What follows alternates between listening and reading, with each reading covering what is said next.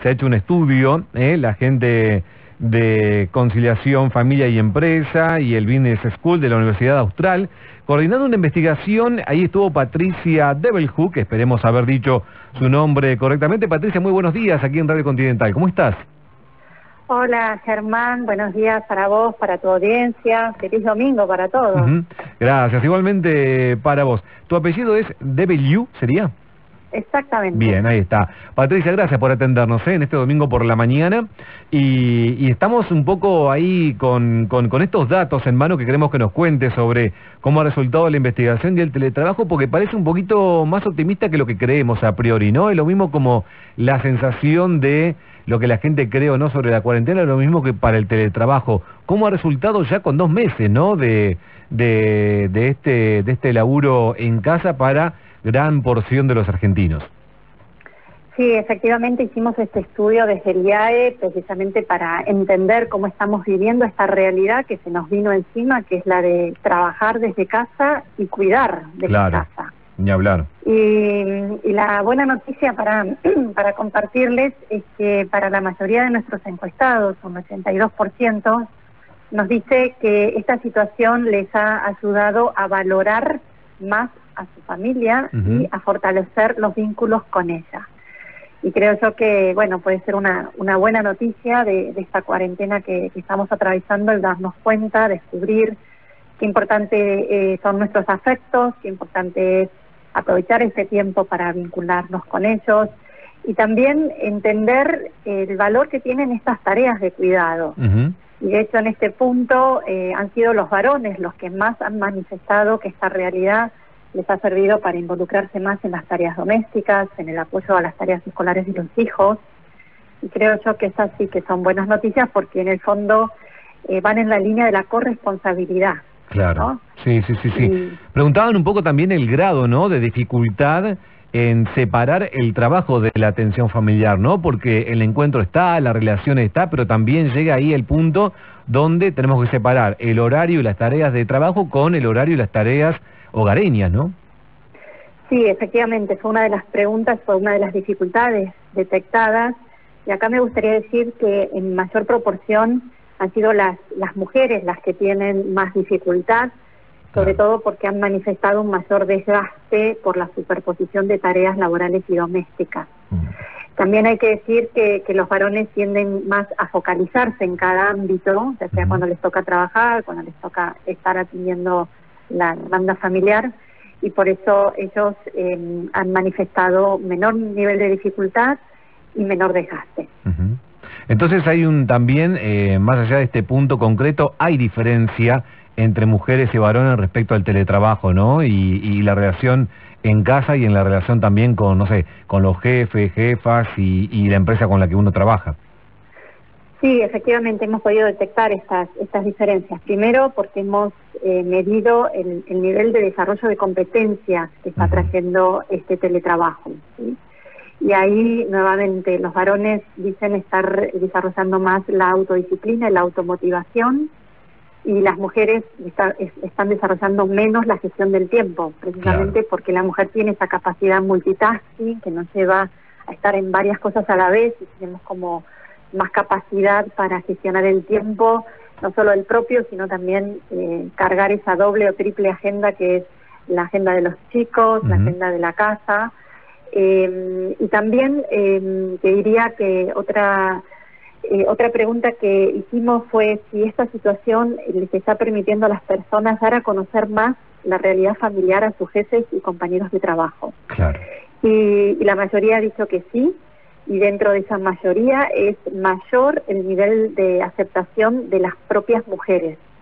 Que se ve que esta situación también las ha ayudado a blanquear un poco esos roles y poder conversarlos más francamente con su jefe o con sus compañeros de equipo. Sí, también es como que todos hemos bajado un cambio, para decirlo cotidianamente, en un término cotidiano, tanto imagino, ¿no?, la exigencia de los superiores para con la exigencia de cada uno de nosotros respecto al trabajo, como que también hay una especie de acuerdo tácito de, de, que la exigencia sea, bueno, dentro de todo lo posible en este, en este contexto de emergencia.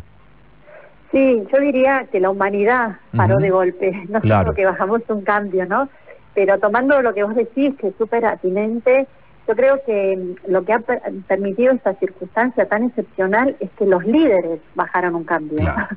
o sea, a veces eh, los, los líderes tenían algún eh, empleado o algún miembro de su equipo teletrabajando, pero ellos no. Claro. En cambio ahora ellos mismos han experimentado, y te digo que yo estoy en permanente contacto con las empresas, con números unos, con directores de recursos humanos, y te podría decir en, esa, en esas conversaciones que voy recogiendo que son ellos los primeros sorprendidos de las ventajas para el teletrabajo que está suponiendo esta situación porque ellos mismos lo están experimentando. En muchos casos por primera vez. Y ya esto plantea cómo vamos a volver en esa nueva normalidad, porque yo creo que vamos a volver de manera diferente. a partir de esta experiencia. Eso era también a, lo que apuntaba la, la, pregunta que te iba a hacer, ¿no? De qué manera el que está experimentando el teletrabajo por primera vez va a estar o estará pensando en yo no quiero volver a la forma de trabajo que tenía antes. Tal vez eso sea posible, tal vez no. Además, esta cosa de la desconfianza de los mismos empresarios o las empresas sobre la capacidad y la forma en la que sus empleados pueden llegar a desarrollar el trabajo a la distancia. Específicamente, ¿en qué puntos se ha visto este beneficio, esta sorpresa para las empresas? Mira, nuestro estudio lo muestra, ¿no? Una de las preguntas tenía que ver con saber si les ha gustado vivir esta experiencia y más del 80% manifestó que, que sí, que les gustó y que la quieren mantener, ¿sí? Por supuesto que en algún caso han dicho que les gustaría mantenerla siempre y cuando la empresa les dé facilidades, los acompañe y los capacite más para, para sostener esto, ¿no? Eh, pero creo yo que que sí, que, esta experiencia que hemos vivido todos y que nos ha atravesado y ha reconfigurado las relaciones laborales, eh, en el sentido de que ahora las personas, para bajar esa presión que antes tenían los jefes con, con la manera de dirigir presencial, estamos trabajando más por objetivos y eso es muy bueno. Eh, y la gente ha, descubierto que, se puede organizar muy bien. De hecho, otro dato de la encuesta es que esta experiencia está contribuyendo a mejorar la eficiencia y la productividad. Y esto es una otra buena noticia justamente para vencer esas reticencias o desconfianzas que había con respecto al teletrabajo, porque se asociaba que el que estaba en casa no trabajaba o era menos productivo. Y la realidad está demostrando que aún cuando estamos teletrabajando en condiciones excepcionales, claro. lo quiero aclarar, porque antes uno teletrabajaba en casa y a veces estaba solo porque el resto de la familia estaba en sus ocupaciones habituales, ¿no? Claro, nos agarró sin preparación previa, ¿no? Exactamente, sin preparación previa y en un contexto donde estamos teletrabajando eh, y cuidando a la vez en, un mismo espacio físico, ¿no? Y no solo un día, sino 24 eh, horas todos los días, toda la semana, y ya al principio hablábamos de los meses que llevamos con esta situación, ¿no? Por lo cual ha sido como un aprendizaje forzoso, muy rápido, pero creo yo que, nos dejará muy buenas lecciones y experiencias a futuro. Y el que en, en, un trabajo sean ahora muchos los que hacen justamente este teletrabajo, ayuda un poco más a que el empleado lo acepte, porque en algunos casos aquel eh, que por allí en una empresa era uno o, a lo sumo dos que lo hacían, se sentía un poco como eh, fuera, digamos, del, equipo de trabajo. Y hoy hay, tal vez ser casi todos los, los, empleados o todos los compañeros en la misma situación lo hace a uno eh, sentirse mejor haciéndolo? Sí, esto ha reconfigurado definitivamente las relaciones dentro de los propios equipos, ¿no? Porque, como bien decías antes, a veces había uno o dos y eran un poco el bicho raro, ¿no? que trabaja desde casa, ¿no? Eh, ahora, al estar todos, hay que mm, comunicarse de manera diferente, hay que apoyarse de manera diferente, hay que valorar los esfuerzos y reconocerlos de manera diferente, ¿no? Y al estar todos en igualdad, eso hace que, se desarrollen esas competencias que decía, ¿no? La, proactividad, el trabajo en equipo, eh, la eficiencia en la comunicación, eh, la resiliencia, porque muchas veces también en este contexto nos tenemos que apoyar, porque vienen los bajones, ¿no? Por cuestiones laborales, porque no hay buenas noticias a veces con respecto al negocio o, eh, no sé, la caída de las ventas o, lo que fuera, y también porque hay bajones en el ámbito familiar, porque la cuarentena se extiende, porque lo pueden estar sufriendo los hijos, lo pueden estar sufriendo este encierro los adultos mayores, que pueden estar en casa o no, están en otro lugar, pero no los podemos visitar y entonces hay que contenerlos desde casa. Entonces, eh, creo yo que, sí, que como bien decías, esto ha reconfigurado la manera de trabajar en equipo y eso creo yo que también va a ser muy bueno. Y, y, entre los que por allí no, no, no, se, no se sentían tan cómodos haciendo el teletrabajo, puede estar quizás esto de, uy, si yo lo hago bien, si sale todo bien, quizás mañana no vuelvo más a, a mi trabajo y yo quiero volver a, ir a la oficina, a ir al lugar de trabajo, al, al tener una, una relación mucho más este, abierta con los compañeros? Sí, a ver, como decía, estamos viviendo un teletrabajo excepcional. Yo antes de todo esto y después de más de 10 años trabajando eh, en el IAE, impulsando estas prácticas de flexibilidad y de conciliación, trabajo-familia, eh, siempre decía que el teletrabajo no es para cualquier tipo de tarea, no es para cualquier tipo de persona y no es para cualquier tipo de familia. Y lo sigo sosteniendo, a pesar de que obviamente ahora estamos todos los que podemos teletrabajando y con la familia en, nuestra realidad cotidiana, ¿no? Ahora bien, em, siempre también se dice que no es bueno estar siempre teletrabajando, ¿sí? O sea, hay que conseguir un mix, un equilibrio entre seguir conectado presencialmente y tener esta flexibilidad que da el teletrabajo. ¿sí? Más allá de que obviamente hay algunas tareas, algunos trabajos donde 100% se pueden teletrabajar. Eso, por ejemplo, los que dan tanto soporte a distintos sistemas, implementación de sistemas informáticos, por ejemplo, bueno, a lo mejor pueden seguir teletrabajando porque viven en ese mundo de los sistemas y de la tecnología, ¿no?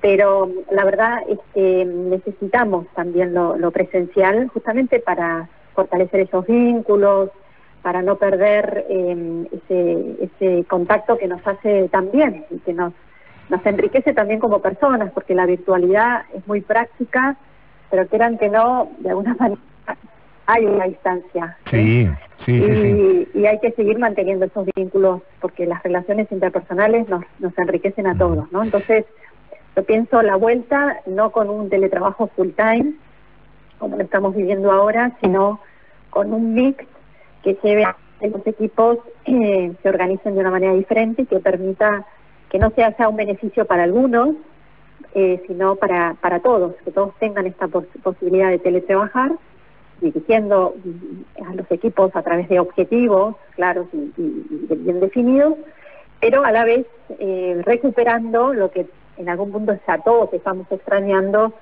que es eso de salir a trabajar, ¿no? salir a trabajar que hace que los ámbitos de alguna manera haya algún tipo de frontera espacial, física y también temporal, ¿no? Porque uno tenía antes una rutina, un horario, un trayecto para llegar al trabajo y en ese trayecto nos ayudaba seguro para desconectarnos de nuestras responsabilidades familiares y, conectarnos con lo que nos esperaba en el trabajo y viceversa al final del día, ¿no? Uno deja el trabajo y, el, y el, trayecto para volver a casa es un buen tiempo para desengancharse de las responsabilidades laborales y ir pensando en, qué me espera en casa cuando vuelvo. Sí, sin duda, sin duda. es muy interesante. Ayuda mucho a la integración de los dos mundos. Es muy, muy interesante esto de, entender un poco que también los tiempos se han adelantado, ¿no? En cuanto al teletrabajo, digo, por ahí estamos ahora en, en, este, en esta instancia de emergencia, se adelantó lo que podríamos estar viviendo, no sé, dentro de dos o tres años. Y, y, lo estamos experimentando de manera rápida y de manera así repentina pero creo que, que se puede salir eh, un poco mejor y encontrarle eh, el equilibrio siempre que haya disposición de, de, buena predisposición de todas las partes, ¿no es cierto, Patricia? Creo que ahí también va a estar la clave, ¿no? Sí, mira, los, académicos que nos dedicamos a investigar todos estos fenómenos que después obviamente llegan al día a día, nosotros veníamos estudiando mucho el futuro del trabajo. Claro. Y te puedo decir que lo que preveíamos que iba a pasar de aquí a 5 o 10 años, ya lo estamos viviendo. Y no solo de manera rápida, como vos dijiste, muy bien, sino que también agregaría de manera intensiva, mm. porque creo yo que es un curso intensivo lo que estamos haciendo, sí, ¿no? sin duda, sin duda. Y contra reloj, porque uno se tuvo que adaptar de un día para otro, ¿no? de, un viernes que se anunció la, cuarentena, un lunes que de golpe tuvimos que cambiar drásticamente, no, no tuvimos tiempo de prepararnos, ¿sí? Y, efectivamente, como, como bien decía, se, han adelantado los tiempos, creo yo que es una muy buena noticia, pero claro está, nos va a plantear a futuro otros nuevos desafíos, ¿no? Que creo yo vamos a estar más capacitados para afrontarlos precisamente porque hemos aprendido mucho en esta experiencia. Patricia, ha sido muy amable en atendernos y, bueno y contarnos sobre, sobre el estudio y al mismo tiempo hacer una especie de, marco de este, de este presente y hacia, y hacia dónde vamos y seguramente vamos a seguir en contacto. Gracias. Gracias a ustedes, me ha encantado compartir este rato con, con ustedes y con la audiencia y les agradezco precisamente que este tema lo, lo estén difundiendo varones, porque hasta aquí muchas veces estos temas de de la conciliación trabajo-familia, del involucramiento en las tareas domésticas, eh, o estos desafíos de, llegar a todos fueron como más asumidos por las mujeres. Y ahora creo que forma parte de los cambios que se vienen a partir precisamente también de esta corresponsabilidad que han experimentado los varones. Creo yo que, vamos a un futuro que va a ser más flexible, más conciliador más equilibrado. Así que muchísimas gracias a ustedes por haberme convocado para compartir este estudio con, con toda la audiencia. Muchísimas gracias, lindo domingo. Patricia Debeliu, que es la directora del Centro CONFIE, que es la Conciliación Familia y Empresa de la Escuela de Negocios de la Universidad Austral, hablando un poco sobre este estudio y viendo, ¿no?, hacia, hacia dónde vamos con eh, nosotros, los empleados, eh, en esta post-pandemia y hacia dónde nos dirigimos en los laburos que, claro, se puede, se puede teletrabajar.